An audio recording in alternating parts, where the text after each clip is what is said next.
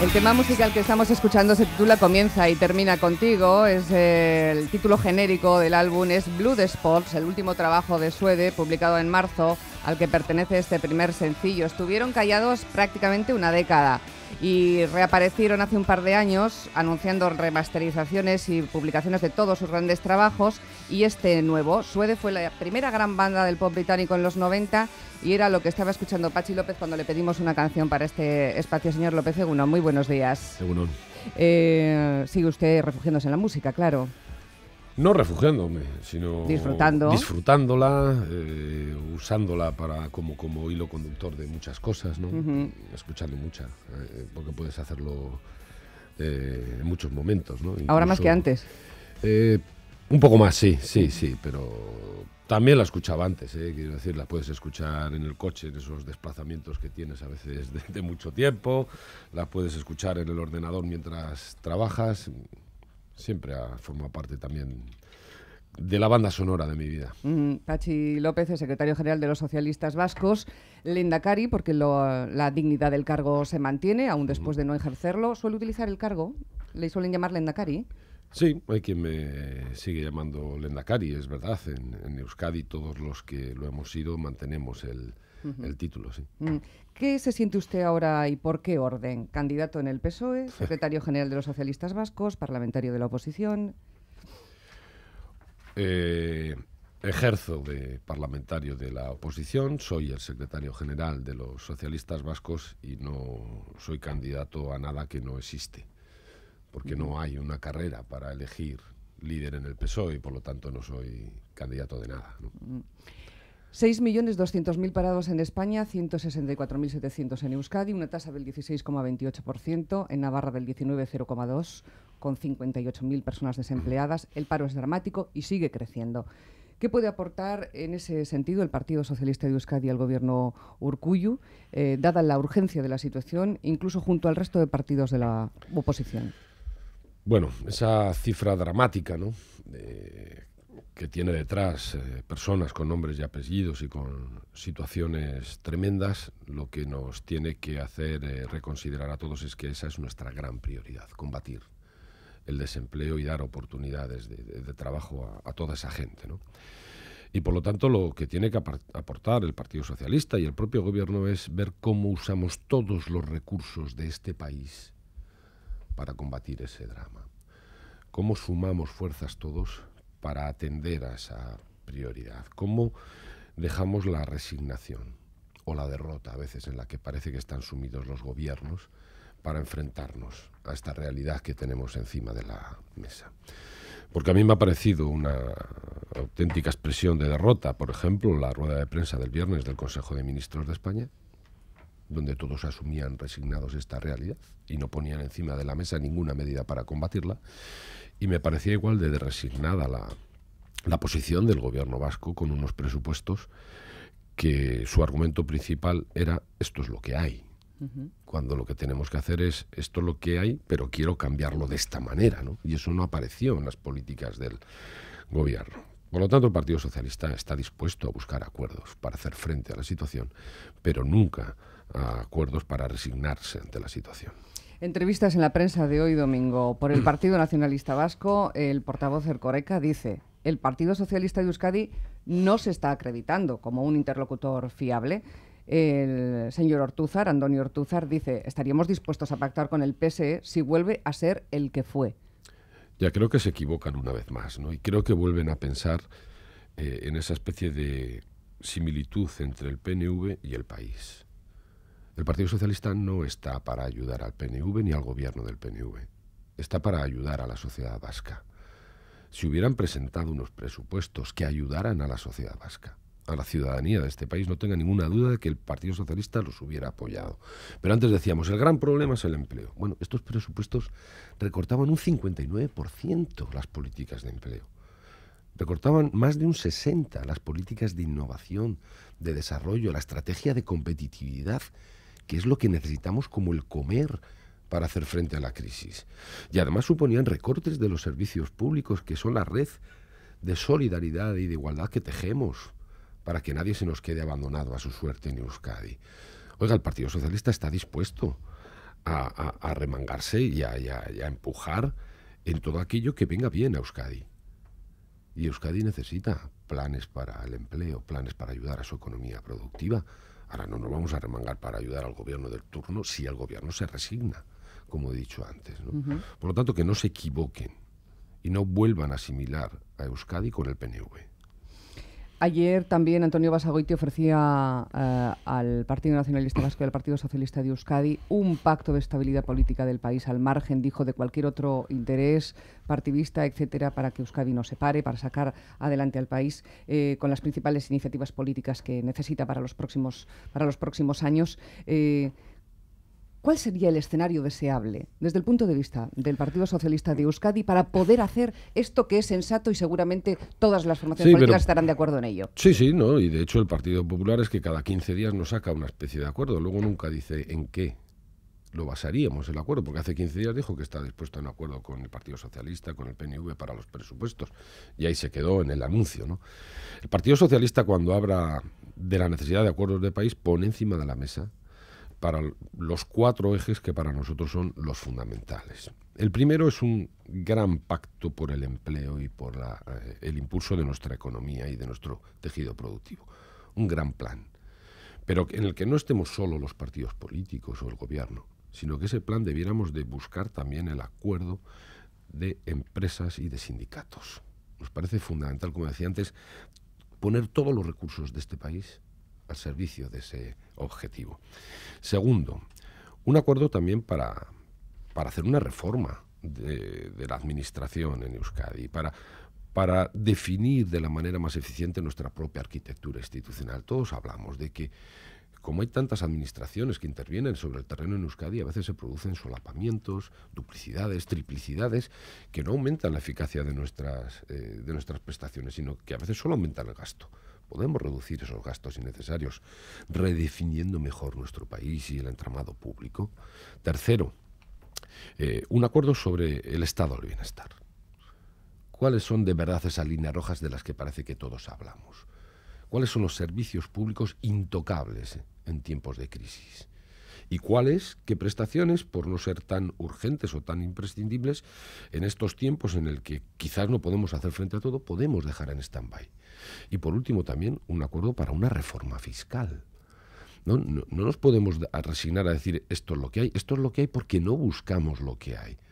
Cuando en un país como el nuestro se defraudan 2.500 millones de euros al año, y no, no, lo decimos nosotros, lo dice un estudio de la UPV, Hombre, habrá que buscar las herramientas para combatir mejor ese fraude, para intentar tener recursos.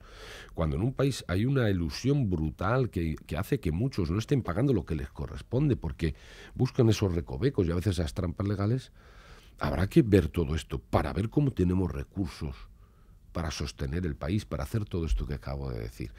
Para nosotros son esas cuatro eh, asuntos, las reformas que necesita este país en los que estamos dispuestos a implicarnos. Muchos de esos asuntos eran los que ha estado usted defendiendo como Lendakari durante todo ese tiempo y no pudo ser. Eh, dirían como es que a veces se repite se repite la mm. historia porque ahora mismo el gobierno del Partido Nacionalista Vasco podría decirle a usted lo mismo que ustedes le decían al PNV antes, que está intentando gobernar según sus criterios desde la oposición. No, no, no, es verdad. yo nunca voy a intentar gobernar desde la oposición. Yo voy a intentar cumplir con el papel que tiene que tener en la oposición un partido responsable. Que es verdad que es eh, hacer un control, un seguimiento, incluso una crítica del gobierno, pero tiene una parte fundamental también, que es dar alternativas y buscar espacios para el entendimiento. Yo estoy dispuesto a buscar el espacio para esos espacios de entendimiento y estamos poniendo las alternativas encima de la mesa. Eh, el Partido Socialista no va a actuar nunca por revanchas ni, ni para pasar facturas a nadie. Nosotros vamos a, actuar siempre con responsabilidad de país y con sentido de país. Y por eso mm, es muy curioso en lo que decía yo, es que esto lo estamos defendiendo por coherencia. Lo hicimos en el gobierno, lo hacemos en la oposición. Quien no permitió hacer estas cosas cuando estuvo en la, oposición fue el Partido Nacionalista Vasco. Ahora parece que quiere eh, entrar a discutir y a debatir algunas de ellas. Bienvenidos sean. Ahora parece que cuando ellos gobiernan sí que son cuestiones de interés para Euskadi. Bueno, no voy a decir, ya lo dije, voy a decir, venga, sentémonos a hablar. ¿Y cómo quedarán los presupuestos desde esta perspectiva de 2014? Porque es en los que hay que trabajar ya, ¿no? Ahora funcionaremos con la prórroga. Y, de hecho el gobierno para junio tiene que elaborar las directrices presupuestarias. Espero que corrija como eh, hizo los presupuestos de, de, este año, ¿no? Y que ya desde ese origen intente hablarlos, intente negociarlos con otros grupos políticos para tener una mayoría suficiente para sacarlos adelante. Y que empiece desde el origen, desde ver con qué ingresos vamos a contar para hacer frente a las necesidades de la sociedad vasca, ¿no? Y que no nos diga esto es lo que hay y con esto solo tenemos una posibilidad que recortar y recortar. Eh, ayer eh, Antonio Basagoiti decía que hay un bloqueo tácito en el Parlamento del Partido Socialista de Euskadi y de H. Bildu con la connivencia en ocasiones de UPyD por la izquierda. A esto mm, le sumaría también unas declaraciones en la entrevista que le hacen en, en ella a Josu Ercoreca, en la que dice que el Partido Socialista Obrero Español en, Madrid está eh, siendo, repitiendo unas palabras que no son suyas, la marca blanca de Izquierda Unida y que aquí ya se está viendo de qué quieren ser ustedes la marca blanca, interpreto que de la izquierda Berchale, eh, por sus palabras. A ver, ¿qué, nos cuenta usted? ¿Qué nos dice? Bueno, primero que efectivamente cuando ellos están viendo fantasmas eh, en la izquierda, eh, se sitúan claramente en la derecha. Y en una derecha neoliberal que es la que nos está imponiendo unas políticas radicalmente equivocadas que nos están eh, llevando a la situación en la que estamos ahora. Nos llevan imponiendo una serie de decisiones que lejos de haber resuelto ninguno de nuestros problemas los han agravado todos. Y efectivamente lo que queremos desde el Partido Socialista, es, desde una visión de, la izquierda, es oponernos a esas eh, políticas que son exclusivamente de recorte sobre recorte, para poner poder alumbrar unas políticas que supongan el impulso a la economía, que supongan utilizar recursos públicos para ayudar a empresas, a familias, a ciudadanos y, ciudadanas y no exclusivamente esas políticas de austeridad expansiva que nos están llevando al suicidio, que están llevando a la marginación a países enteros, que están llevando a la pobreza a millones de ciudadanos. Debieran de plantearse esos partidos desde la derecha qué están haciendo y en qué situación están dejando a la gente. Porque no basta con decir saldremos de la crisis. Hay que preguntarse cómo saldremos, en qué condiciones, cómo estará la gente cuando salgamos de la, de la crisis. Y las políticas que hagamos tienen que tener en cuenta esto. Cambiemos de asunto, eh, aunque luego volvamos un poco a casa. Bueno, a casa, esto es territorio común, es casa también. Eh, está usted muy cabreado y así lo ha hecho notar en los últimos días, yo creo que con dos cuestiones especiales. Una de ellas es con Alberto Ruiz Gallardón en la modificación de la ley del aborto que propone volver al 85. Ahí está muy enfadado y lo ha demostrado públicamente. No, es muy enfadado, es preocupado, porque a veces eh, con la excusa de la crisis o con el manto de la crisis que lo oculta todo, nos están intentando colar políticas que nos retrotraen efectivamente a, los años en los que tuvimos que hacer un esfuerzo enorme para ir conquistando derechos, en este caso derechos de la mujer. Me parece increíble que a estas alturas la imposición de Rouco Varela, pese más que la vida de una madre a la hora de decidir si tener hijos o no. Me parece tremendo y esto no podemos dejarlo que pase desapercibido porque tenemos una crisis. Tenemos que atender la crisis, pero esto también, porque esta es una política de alguien que creíamos que tenía que era un cordero, pero solo tenía piel de cordero. Ruiz Gallardón está enseñando efectivamente las eh, la fa de, de lobo que está recortando derechos, en este caso de las mujeres, para traernos a épocas oscuras en que muchas mujeres tenían que ir a Londres y a otros sitios a, abortar eh, en, salas de operaciones oscuras, arriesgando su propia, su propia vida. Esto no puede ser. Y también está usted muy cabreado con el diputado general de Vizcaya y su actuación con el de Bilbao Basket cuando le ha rescatado de una deuda eh, millonaria en euros en la hacienda vizcaína. Pero supongo que no seré el más cabreado, porque eh, yo soy eh, socio del Bilbao Basket desde que estaba en la ley, disfruto mucho con sus partidos, partidos, pero hay cosas que no entiendo, no puedo comprender. Como el diputado de, general de Vizcaya utiliza la hacienda y los recursos de Vizcaya como si fueran suyos y resulta que abona una partida de más de 5 millones de euros al Bilbao Basket para perdonarle una deuda con, el fisco de, más de 3 millones. Digo que no soy más cabreado porque ¿qué pueden pensar aquellos empresarios que están en dificultades, que incluso les abocan a cerrar su empresa porque tienen también esos problemas eh, de recursos? ¿Cómo les hacemos a estos empresarios pagar sus impuestos si están viendo que a otros se les condona la deuda, que se les da dinero con una mano para, tapar el agujero que tienen? Es que no lo puedo entender. Y yo, como digo, yo supongo que hay muchísima gente en este país que no puede entender eso. ¿Y qué hacemos entonces? Pues yo creo que, la Diputación, como una institución eh, que tiene también sus relaciones, lo que debiera haber hecho es buscar sponsors fiables para el baloncesto. Porque además no fui yo, sino que fue el propio diputado general quien salió anunciando este año que se acababan las ayudas para el deporte profesional y que en todo caso su vocación era eh, apoyar el deporte de base. Bueno, esto rompe radicalmente eso que había dicho, ¿no?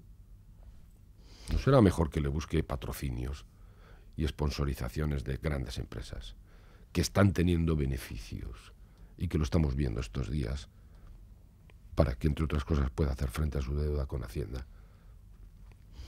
¿Primarias para elegir al secretario general del PSOE? Sí. De hecho, no me he dado cuenta que, había, que hay una cosa que había pasado desapercibida. Los socialistas vascos, en el último congreso de hace escasos tres meses, habíamos aprobado que mm, a partir de ese momento los secretarios o las secretarias generales se iban a elegir por el sistema de primarias.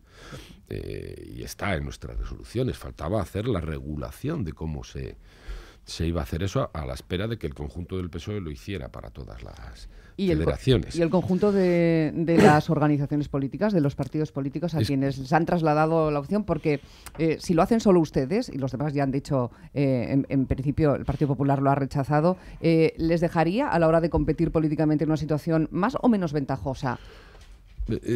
hombre, en otras ocasiones, cuando hemos tenido primarias con dos candidatos o con tres candidatos, es verdad que otros grupos políticos han utilizado eso para intentar desgastar al Partido Socialista para intentar que se viera donde lo que hay es una riqueza de, ideas, de, gente con vocación, de, liderazgo, con, frescura, intentar solo instalar la idea de que es que el Partido Socialista está roto, está dividido y tal. Si, este, si las primarias y que, eh, que toda la militancia, o que incluso las primarias abiertas, como vamos a hacer para elegir el candidato a presidente de gobierno, es decir, no solo la militancia, sino que mucha otra gente participe a la hora de, elegir quién es el que mejor le representa, es algo que avanza en el sistema democrático, esto lo debiéramos aplicar todos. ¿O es que no todos queremos mejorar la calidad de la democracia?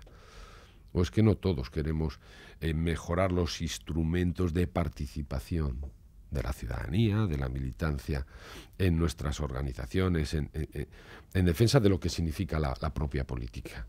Bueno, pues ¿por qué no lo llevamos a una ley? Que nos obligue a todos a hacerlo así, para mejorar esa calidad democrática de nuestro país. Parece difícil que eso funcione en las actuales circunstancias, ¿no? No, no, parece difícil que alguno cambie su sistema digital de elegir a dedo por un sistema mucho más democrático, ¿no? Porque yo no sé muy bien cómo eligen algún otro partido a sus dirigentes o a sus representantes. En el Partido Socialista todo el mundo sabe cómo se eligen y tenemos primarias y tenemos nuestro sistema de asambleas, otros, este sistema de compromisarios a dedo que hacen que, que uno decida por todos, bueno, pues debieran de repensárselo, ¿no? Tal y como está la, la demanda de la ciudadanía hacia la política. A ver, señor López, ¿con qué nos quedamos? Algunos compañeros suyos consideran que sacarle a usted al escenario electoral del partido en Euskadi es un intento de quemarle a usted y también a Eduardo Madina. En otras federaciones hay quien cree que usted mismo se postula aunque no haya abierto la puerta. Y ayer mismo escuchábamos a Felipe González decir que eso, que efectivamente es un intento de quemarles. ¿Usted dónde está ahora mismo ahí? Él me ha dicho antes que no está en la pelea. No, pero, no, incluso en una interpretación, que no sé si es distinta a estas, ¿eh? es que a veces esto viene desde fuera del Partido Socialista.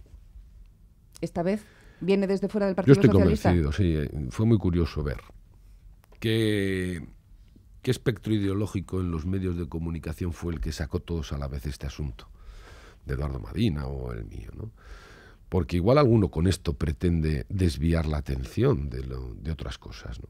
Y cuando el Partido Socialista está en el debate de las ideas y cuando está eh, contrastando eh, propuestas para definir y redefinir su alternativa y su proyecto político y estamos eh, haciendo debates y conferencias y hemos hecho sobre Europa, sobre fiscalidad, sobre la economía, tenemos pendientes sobre el modelo territorial, sobre el estado del bienestar. Alguno igual prefiere que en lugar de hablar de esto, que es lo que de verdad preocupa a la gente, nos enzarcemos en una pelea interna. Desde luego los socialistas no. Desde luego, y me consta que Eduardo Madina y yo no estamos en la pelea de nombres, estamos en la pelea de ideas en ayudar en esa definición de la alternativa. A mí lo que me importa de verdad es con qué nos presentamos ante la ciudadanía, cuáles son las respuestas que damos a los graves problemas que tienen las personas en este país. Para mí sería un fraude que el Partido Socialista, como alternativa a lo que está pasando, eh, pusiera encima de la mesa exclusivamente cambiar la foto de un cartel me parece mucho más importante saber qué respuestas damos a esos 6.200.000 parados, mm. a las personas que están en desahuciadas o al borde del desahucio, a las personas que han perdido todo con las preferentes, a las personas que están hoy viviendo bajo el umbral de la pobreza y que a duras penas llegan a los bienes de consumo básicos. Para eso está el Partido Socialista. ¿Esas personas tienen derecho a, manifestarse delante de su casa, por ejemplo, señor López, o de una mm. concejal socialista que se ha prohibido, por cierto, en Baracaldo? Yo ya he dicho que, entiendo los motivos para la protesta. Mm. Eh, entiendo que hay razones para esa protesta, incluso para molestar a los políticos. Eh, pero el scratch, esto que se llama scratch ahora, eh, está en esa delgada línea entre los derechos de los que se manifiestan y otros derechos, ¿no? Porque me parece muy bien que se proteste y se manifieste ante el político en su sede institucional, en la sede de su partido, pero cuando ya está en casa, en el vecindario, ahí entran en juego otros otros derechos. Ahora lo que no comparto en absoluto es este intento de criminalización de, por parte del Partido Popular que ha llegado a compararlo es con, con, ETA y con, con nazis, ¿no? oiga, los que hemos sufrido la amenaza de ETA sabemos distinguir muy bien, ¿no? Entre lo que es una protesta política y lo que es una agresión. Em, su compañero Eguiguren ha dicho que le da pena esta situación actual del proceso contra para acabar con la violencia. Es la parte menos dura de sus declaraciones a Gambara en esta casa el jueves pasado. Eh, también la Europol teme que sectores radicales de ETA vuelvan a emplear la violencia armada. Yo no sé si usted ve también un riesgo de involución en lo que se ha conseguido hasta ahora en el proceso de paz. Eh, no hay movimientos por parte del Gobierno central. Se reprocha desde la izquierda Berchale. Debe haber entrega de las armas, dice el Ministerio del Interior. Mm, ¿En qué momento estamos y qué es lo que augura usted para, para el futuro? O casi diría yo para el presente. No, no, no, yo no.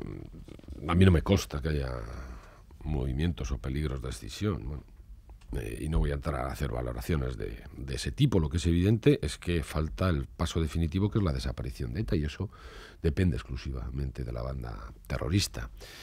Segundo, es verdad que la izquierda, que ese mundo radical de, de Batasuna nos tiene acostumbrado a hacer esas declaraciones en las que acusan a todos los demás de inmovilismo, de no moverse, como si ellos fueran los que están avanzando en este país. Y yo lo que estoy viendo estos días son cosas que nos retrotraen al pasado. Homenajes a terroristas, pintadas, amenazas. Oiga, es ese mundo el que se tiene que, mover. Ese es el mundo el que tiene que integrarse definitivamente en el sistema democrático y en la democracia con todo lo que implica de valores éticos, de tolerancia, de respeto a la diferencia.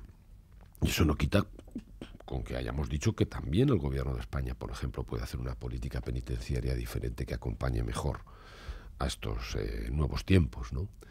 Y que entre todo lo que tenemos que buscar es la convivencia y la, y la concordia que se asiente en la memoria y en esos valores éticos. ¿Qué valoración le merece el acto de Guernica del otro día con eh, María Guiguren y Garasi Otegui recogiendo los premios otorgados a sus padres? Bueno, a mí me impactó mucho lo que leí de la de la intervención de María, ¿no? de la hija de Jesús Eguiguren, y ese reconocimiento en una niña todavía de, de 13 años de decir que lo había vivido todo y que, había, que sabía lo que era odiar, ¿no?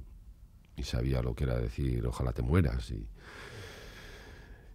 y eso es para poner los pelos de punta cualquiera, ¿no? porque ese es el, forma parte del relato de lo que hemos vivido en este país y de lo que hemos hecho vivir a mucha gente. ¿no? Y su llamamiento a, la, a, esa concordia y a esa convivencia de, de los distintos me parece que debiera ser una guía y una referencia para lo que tenemos que hacer. ¿A dónde va usted ahora? Ahora voy precisamente a un acto de, homenaje a dos víctimas del terrorismo en Portugalete, cuando quemaron la Casa del Pueblo, porque creo que debemos de, de estar ahí siendo un poco testimonio del relato de la verdad de lo que ha sucedido en el país. Y luego iré a ver al puerto. Señor López, eh, muchísimas gracias por haber estado con nosotros esta mañana. Pachi López, Lendakari, secretario general de los socialistas vascos. Eh, gracias por estar con nosotros. Y una última pregunta de estas así escapadas. ¿Votaría usted por Matina? Eh, sí. Sí, vale, vale. Ah, por preguntar. Muchas gracias, suerte. Hasta